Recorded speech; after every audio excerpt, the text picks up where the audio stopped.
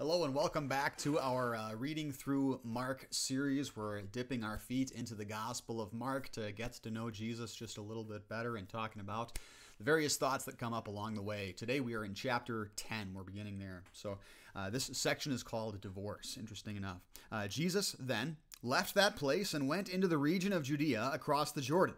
Again, crowds of people uh, came to him, and as was his custom, he taught them. Some Pharisees came and tested him by asking, Is it lawful for a man to divorce his wife? What did Moses command you? He replied. He said, Moses permitted a man to write a certificate of divorce and send her away. It was because your hearts were hard that Moses wrote you this law, Jesus replied. But at the beginning of creation, God made them male and female. For this reason, a man will leave his father and mother and be united to his wife, and the two will become one flesh. So they are no longer two, but one. Therefore, what God has joined together, let man not separate. Then, or when they were in the house again, the disciples asked Jesus about this. He answered, Anyone who divorces his wife and marries another woman commits adultery against her. And if she divorces her husband and marries another man, she commits adultery. This is God's Word. now, this is a really interesting section here uh, for a number of reasons. First off, uh, so the Pharisees want to test Jesus. They want to um, ask him about this very difficult issue. Divorce was a difficult issue back then, and it's still a difficult issue uh, in our culture today. Um, and so they want to ask Jesus about uh, whether or not divorce is permissible, if it, if it is a good thing, if it's an allowable thing.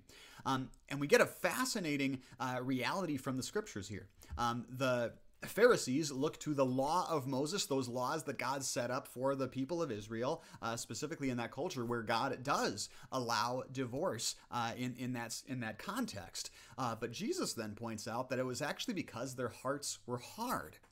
Um, that that God allowed divorce legally. However, uh, this legal allowance, this legal permission, was not indicative of God's actual desire for how marriage ought to be. God wants marriage to be a lifelong union. Jesus makes this uh, very clear that uh, one man and one woman are to become one flesh, united for the rest of their lives. And this is how God wants marriage to be. um, and so it is very interesting because it gives us um, something to chew on, maybe something that a lot of Christians are not comfortable with. Um, very often uh, we want we want our politics to reflect uh, what what is the ideal, what is the perfect thing, and there is a point to that. But there is also a reality that uh, our politics has to take into consideration that we are evil people, uh, and also that uh, we're not all Christians. We're not all led by the Spirit of God in these things, and so there are places where God Himself allow uh, ha- allows legal permissions for things that are evil, for things that are not according to His will just because uh, we are dealing with people that uh, are hardened against God. Um, so again, there, there is a place for us as, as Christians as we uh, navigate the political realms, as we talk through political ideologies uh, that we cannot expect unbelievers to share the same values that we have as Christians. Uh, and so if you're having a political discussion with somebody, you can't say, well, the Bible says this. They, they don't care about what the Bible says, right? And so we as Christians need to be able to uh, defend our arguments on the same ground uh, as other people. And so uh, can we make a rational, can we make a uh, sociological or, or whatever other kind of argument for what we are, what we believe as Christians? Um, and can we also allow for those places where we're going to disagree with other people? God even has this set up even in those Old Testament laws that he gave the people of Israel. Uh, Jesus goes back to the creation accounts to get the, the more uh, full desire of God regarding marriage that it is a man to leave that unity he has with his family that he grows up with and instead to unite with his wife and become a new unit by which they are one flesh. Um, now, the Bible does give two biblical reasons for divorce, and it really comes down to um, God allowing divorce in cases where the marriage has already been broken. So in Matthew chapter 19, uh, porneia is described. That's sometimes translated as marital unfaithfulness. Uh, so where uh, one spouse has cheated on another. Um, God allows divorce in that case. God says that divorce is not adultery because adultery has already happened in that case. Uh, the marriage has already been broken, and so that legal divorce is simply acknowledging the reality that has already come across there. That's not to say that um, uh, a marriage can't survive. Uh, infidelity. That, that that also certainly happens uh, in some cases, and that can be a, a, wonderful way to glorify God. But yeah, that that allowance is there. We also see an allowance in uh, 1 Corinthians chapter 7 verse 15 where it says if the unbeliever leaves let him do so. A believing man or woman is not bound in such circumstances. God has called us to live in peace. So there's that other aspect too, uh, this malicious desertion.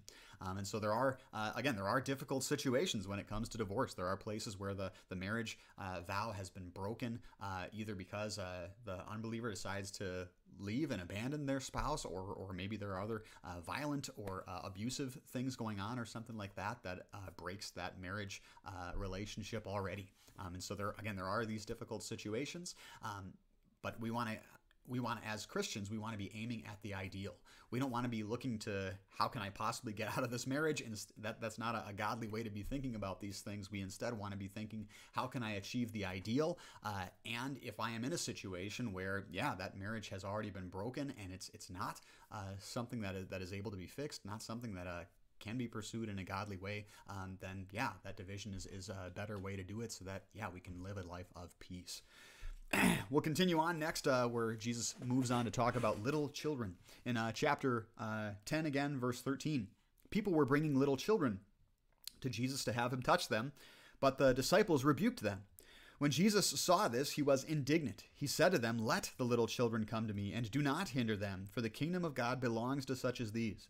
I tell you the truth, anyone who will not receive the kingdom of God like a little child will never enter it. And he took the children in his arms, put his hands on them, and blessed them. Here again, we get a fascinating, um, fascinating picture of what the kingdom of God is all about. Many people today uh, will say, well, you know, little kids can't uh, choose Jesus. They can't make a decision for Jesus. They can't commit their lives to Jesus. And so uh, they aren't actual Christians. And Jesus has a completely opposite idea. Jesus says, No, let the little children come to me. And in fact, unless you become like a little child, uh, you cannot be, uh, enter the kingdom of God. Um, in Luke chapter 18, we get a parallel account here, and it says that the children here have not been weaned yet. Uh, so we're talking very little babies, right? Uh, infants that are still breastfeeding. Um, now, again, why would the disciples rebuke people for bringing little children?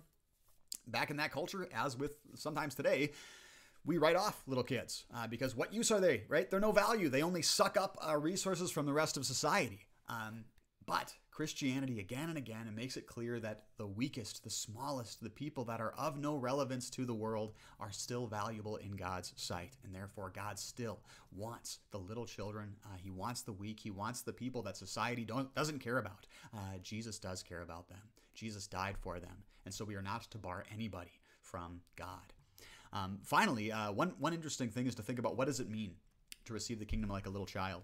Um, many people will say, well, children just don't ask questions. They just uh, believe whatever you tell them. That's not at all what God says uh, in the scriptures. Instead, God encourages people to look into these things, to study the scriptures for themselves, to ensure that what they are believing uh, is true. The Bible continually warns against false teachers. How do you, uh, how do you uh, um, stand against a false teacher? You can't stand against a false teacher if you're just believing everything that you're told without asking any questions, right? Uh, you have to examine what is being taught to you. Um, and so then the question is, what does it mean to receive the kingdom like a little child? Well, it's this children don't receive any good thing because of their hard work, because they've earned it. Instead, when they when a little child, when a breastfeeding child receives something good, it is only because of the goodness of the person giving the gifts to them. Right? It is only because their mother or father or somebody else is being generous to them. And so in the same way, this is how we are to receive God's gifts to us. Uh, that we recognize that we haven't earned anything good from God. It is only because He is good, He is merciful, He is uh, serving and blessing us. Yeah, we'll squeeze one more in here. Okay, so verse 17. As Jesus started on his way, a man ran up to him and fell on his knees before him. Good teacher, he asked, What must I do to inherit eternal life? Why do you call me good? Jesus answered. No one is good except God alone. You know the commandments do not murder, do not commit adultery, do not steal, do not give false testimony, do not defraud, honor your father and mother. Teacher, he declared, all these I have kept since I was a boy. Jesus looked at him and loved him.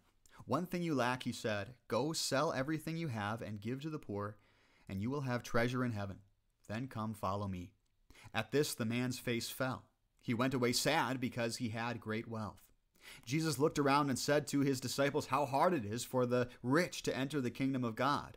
The disciples were amazed at his words, but Jesus said again, Children, how hard it is to enter the kingdom of God. It is easier for a camel to go through the eye of a needle than for a rich man to enter the kingdom of God.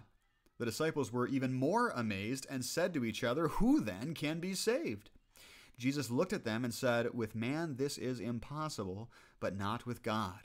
All things are possible with God. And Peter said to him, We have left everything to follow you. I tell you the truth, Jesus replied, No one who has left home or brothers or sisters or mother or father or children or fields for me and the gospel will fail to receive a hundred times as much in this present age homes, brothers, sisters, mothers, children, and fields, and with them persecutions, and in the age to come eternal life. But many who are first will be last, and the last will be first, or in the last first. This too is God's word. now, again, fascinating stuff here. Um, Jesus is saying uh, here, as this guy comes and asks Jesus, Yeah, how do I get into eternal life? Um, and Jesus says, Obey the commandments and you'll have life. And now, this is what the law of God says that if you are good enough, you can gain eternal life. The question is, how good do you have to be? You have to be perfect. And so Jesus points this man to the commandments to show him that he's really off. And if you noticed, uh, one of his commandments here uh, is most of them are the Ten Commandments, but he also adds in "do not defraud."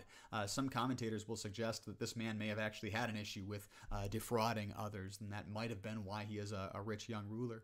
Um, but the man doesn't quite get it. He doesn't quite recognize uh, his failure to obey God's laws. Uh, and so Jesus instead uh, points him to a, very clear command that he cannot.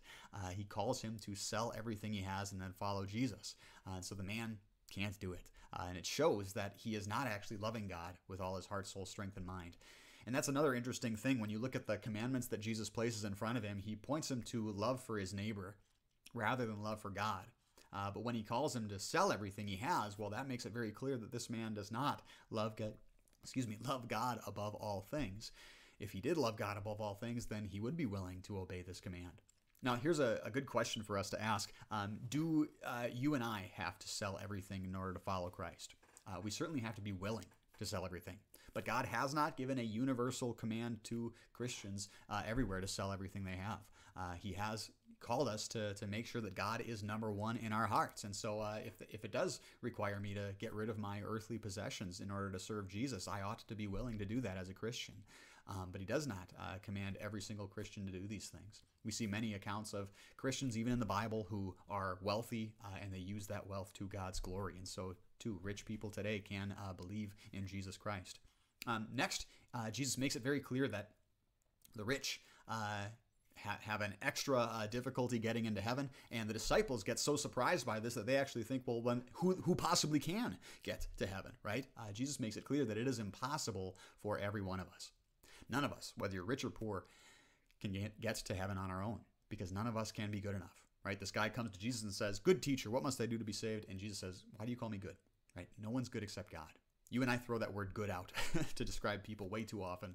Uh, we ought to have more humility. None of us is good in God's sight, uh, only Jesus. And so we need his salvation uh, to be saved. And this is where, again, Jesus makes it clear uh, it is impossible for any of us to be saved. It'd be easier for the cam- a camel to go through that eye of a needle uh, than for any of us to be saved. But with God, this is uh, possible. Just as we saw that little child, uh, it's impossible for that child to gain good things for himself because that child can't do anything, but he trusts somebody that is giving him good things, right? Somebody else who is good and generous toward him. Uh, so, in the same way, you and I, we can't earn our salvation, but like a little child, we can trust God who is good to give us salvation through Jesus Christ. All right, that's all for now. God's richest blessings on you until we meet again. And I say, I say, I say, can't be that easy. And he said, he said, and no, it wasn't easy. But be still and know that I am God. Be still and know that.